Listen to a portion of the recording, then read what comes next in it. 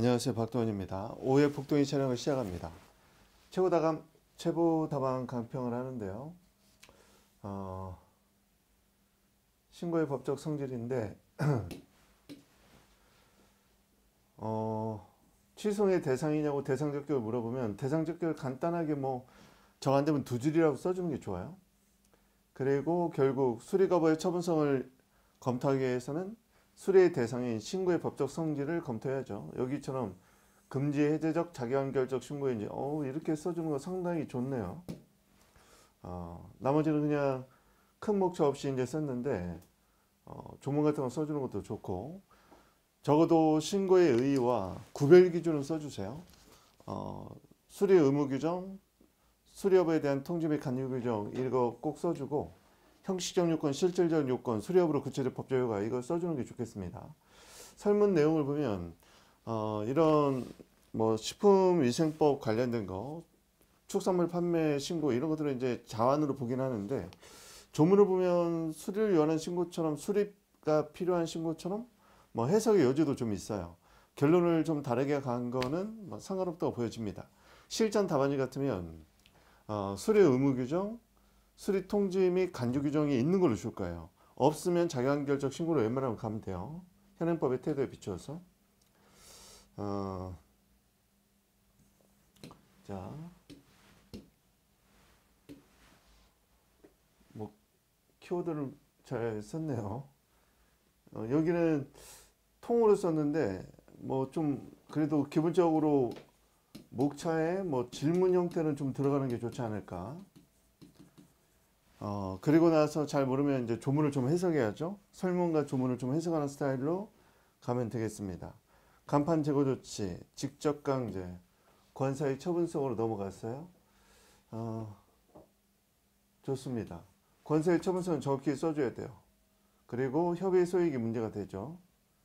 어, 협의 소익 뭐 이런 내용을 써주면 되겠습니다.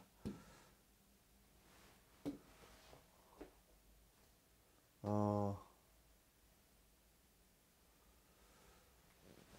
그 소익이 있냐 없냐 뭐 이게 사실은 권력적 사실행위는 즉시 종료되기는 하지만 계속성이 있는 권력적 사실행위가 있거든요. 간판 제거 조치 같은 경우도 어떻게 보면 간판을 제거해서 영업소를 폐쇄하는 건데요. 계속성이 있는 권력적 사실행위로 볼 수 있습니다. 어, 따라서 취소 판결이 나오면 간판 다시 재부착하고 영업 다시 재개할 수 있잖아요. 소익이 있다고 볼 수 있는데 어, 쉽게 말하면 음, 즉시 종료되는 권력적 사실행위는 이제 파기가 되는 거.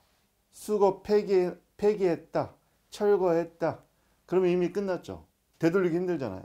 이미 폐기가 끝났으니까, 철거가 끝났으니까.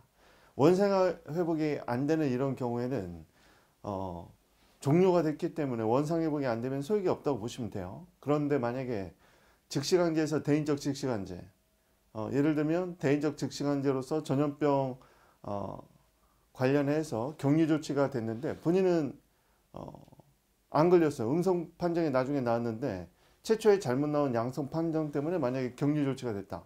이런 경우에는요 계속성이 있잖아요. 그리고 명단 공표 같은 경우도 공표된 명단을 제거해야 될 필요가 있잖아요. 그리고 상황 같은 경우도 간판 제거 조치는 영업을 못하게 만드는 건데 이게 만약에 취소가 되면 영업을 할 수 있게 되잖아요.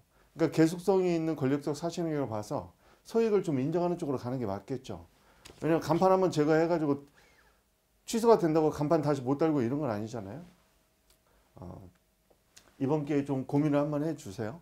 어, 간판 제거 조치, 영업소 폐쇄 조치 이런 것들은 그 폐쇄가 쭉 되고 있는 거죠. 직접 강제로서.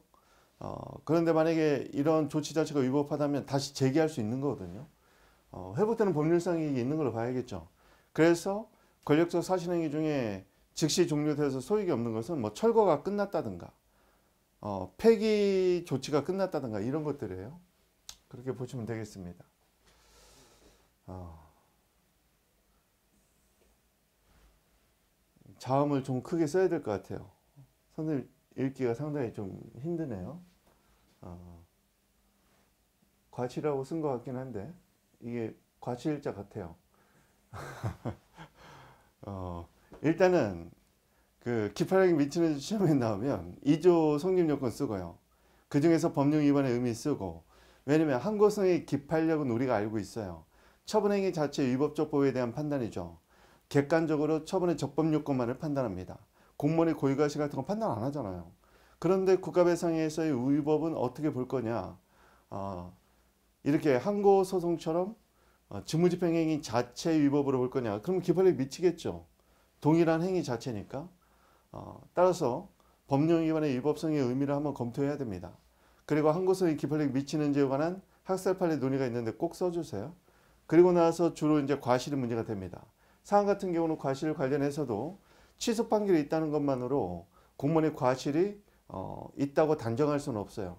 그리고 법령 해석 적용상의 잘못이 있다 하더라도 사안의 설문에 보면은 관련된 관청에 문의까지 했는데 그 답변에 답변을 토대로 행위를 했잖아요. 이런 경우에는 과실 인정 안 됩니다. 자, 알아두시고요. 자, 일반은 대상적 기억 써준 거 좋습니다. 거부처분의 성립 요건은 신고에서는 쓰는 거 아니에요. 왜냐면 거부처분 성립 요건에서 논, 논란이 되는 게 신청권이 필요한가의 논의인데 신고와 신청은 완전 결이 달라요. 완전히 층위가 다르기 때문에 어, 신고에서는 거부처분 성립 요건이 이 논의를 쓰지 않습니다. 이거 강의 시간에 여러 번 얘기한 것 같은데 어, 이거 꼭 알아두세요. 신고에서는 거부처분 성립 요건 이 논의를 쓰지 않아요. 그럼 뭘 써야 되냐면 어, 금지 해제적 자격한결적 신고냐, 정보 제공적 자격한결적 신고냐, 또는 금지 해제적 수리를 필요로 하는 신고냐에 따라서 관련 판례들이 있잖아요. 특히 금지 해제적 자격한결적 신고는 일반적 건축 신고가 있죠.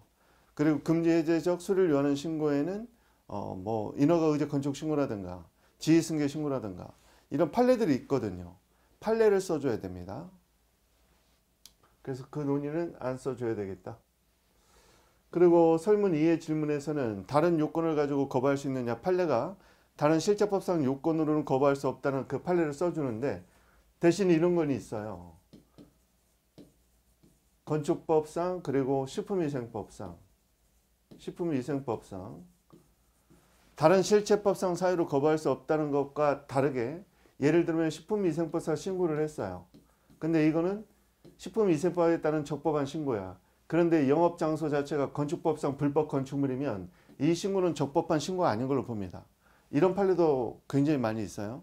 어, 다른 실체상 이유로 거부할 수는 없지만 이렇게 다른 법에서 정한 요건이 식품위생법상 신고의 요건을 갖췄다는 것만으로 다른 법의 요건도 다 갖춘 걸로 의제되는 건 아닙니다.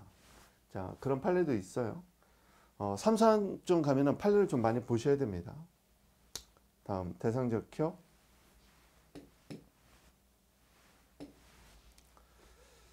어, 직접 강제, 간판 제거 조치는 직접 강제, 그러면 권사의 처분성. 권사의 처분성은 쟁점이니까 학살 판례를 좀 많이 써주셔야 돼요.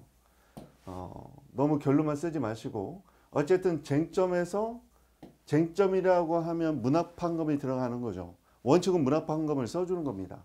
압축적으로라도 일단 이 부분을 좀 늘려 써야 돼요. 자, 그 다음에 협의 수익에 관련된 논의. 어, 소원 사용에서 뭐 소원 사용에서 특별히 어, 뭐 이미 처분이 소멸했다 뭐 그렇게 보기도 좀 애매하네요. 계속성이 좀 있다고 볼 소지가 있어요. 어쨌든 소익이 있다고 가지면 좋을 것 같아요. 자, 물론 뭐 나는 이걸 즉시 종료한 걸로 보겠다. 그래서 가구제 필요성이 크다. 뭐 그렇게 썼다고 해서 틀린 걸로 보지는 않습니다만 어, 여러분이 영업자의 위치에 가보세요. 지금 간판 제거 조치가 이미 종료가 됐기 때문에 더 이상 못 다툰다고 해야 마, 맞을까요? 간판 제거 조치가 돼서 영업소 폐쇄 조치의 일환으로 간판 제거 조치거든요. 만약에 이게 위법하다면 취소해서 다시 간판 달고 영업 재개해야죠. 그에 따른 뭐 손해배상 같은 거 나중에 청구를 하더라도 어, 자 그래서 좀 여러분이 그런 실무적 관점에서 한번 살펴보세요. 소익이 없는 걸로 봐야 될 건지 취소됐을 때 회부되는 법률상 이익이 있는지 없는지 철거 같은 경우는 철거가 이미 끝나면 어 만약에 취소가 되더라도 철거는 이미 종료가 됐기 때문에 의미가 없거든요. 철거 명령은 이미 다 종료가 됐으니까 그렇지만 이런 경우는 이제 영업재개 가능성이 좀 남아 있다고 보여집니다. 결론은 좀 다르게 가도 상관없어요. 소액이 없는 경우. 어, 간판을 다시 달 수 있다. 그렇죠. 어, 폐쇄 조치가 어, 취소가 돼버리면 다시 영업재개가 가능하다 이렇게 갈 수 있다는 거예요. 어, 아주 잘했어요. 국가배상 청권의 성립 요건 2조 먼저 써 주시고 그 중에서 법령 위반의 의미 요건 중에 법령 위반 줄여서 위법성의 의미 먼저 써주고 기판력이 미치는지 이렇게 가야죠. 그 다음에 과실 여부 과실에서도 두 가지 써줘야 돼요. 판례 관련해서 써주는데 취소 판결이 있을 때 공무원의 과실이 있는가 여부하고 법령의 해석 적용을 잘못했을 때 공무원의 과실 두 가지 놓치면 안 됩니다. 체크하셔야 돼요. 영업신고의 법정 성질 이렇게 앞으로 빼도 좋아요. 목차 차원에서는 그냥 양가로하고 로마자부터 쓰는 게 나중에 목차 구성하는 데는 더 좋을 겁니다. 축산물 판매 신고가 자기완결적 신고인지 뭐 해석상 나는 수리가 필요한 식으로 보겠다. 뭐 어, 그렇게 가도 뭐 상관은 없습니다. 거부가 취소의 대상이 되기 위한 요건, 거부점의 성립 요건은 신고에서는 쓰지 마세요. 대상 결격 충전 여부. 목차가 좀 일반적이진 않은데 뭐 이런 목차도 좋을 수 있어요. 어, 내용을 풍부하게 쓴다는 측면에서는 의미가 있습니다. 다음 문제점. 자, 첫 번째는 이거 문제점으로 이제 많이 쓰기도 하는데 차라리 그러려면 문제의 소재 이렇게 쓰세요. 또는 쟁점의 정리, 논점의 정리를 씁니다. 이게 변호사 시험 애들도 이렇게 첫 번부터 문제점이라고 많이 쓰는데 여기는 문제 소재 또는 쟁점이나 논점을 찾는 데 의미가 있고 보통 이 문제점은 쟁점 내에서 문합환검 쓸 때 문제점으로 많이 쓰죠. 그래서 여기도 문제점으로 쓰고 쟁점 안에서도 문제점으로 쓰고 그럼 중복되니까 위에서는 문제의 소재 또는 쟁점의 정리, 논점, 의 정리를 쓰고 문제점은 쟁점 안에서 왜 문제가 되는지 어, 권사의 처분성에서 문제점 왜 권력적 사실행위 처분성이 논란이 되는지 이런 그래서 여기는 문제점보다는 이 세 가지 중에 하나 쓰세요. 그리고 항상 큰 목차는 질문 형태로 질문 형태로 써주는 게 좋겠습니다. 어, 여기는 또 쟁점의 정리를 잘 썼네요. 간판 제거 조치의 법적 성립 권사 권사의 처분서 잘 썼어요. 여기처럼 학설 판례를 써주면 검토까지 꼭 써야 돼요. 학설도 있고 판례도 있는데 그 중에 뭘 본인이 택할지가 검토입니다. 그 검토에 따라서 검토 및 소결 또는 소결 대신 사안의 경우 이렇게 쓰는 거예요. 검토 및 사안의 경우. 검토에서 본인이 어떤 학설을 취하면 그 학설에 따른 결론을 내리는 겁니다.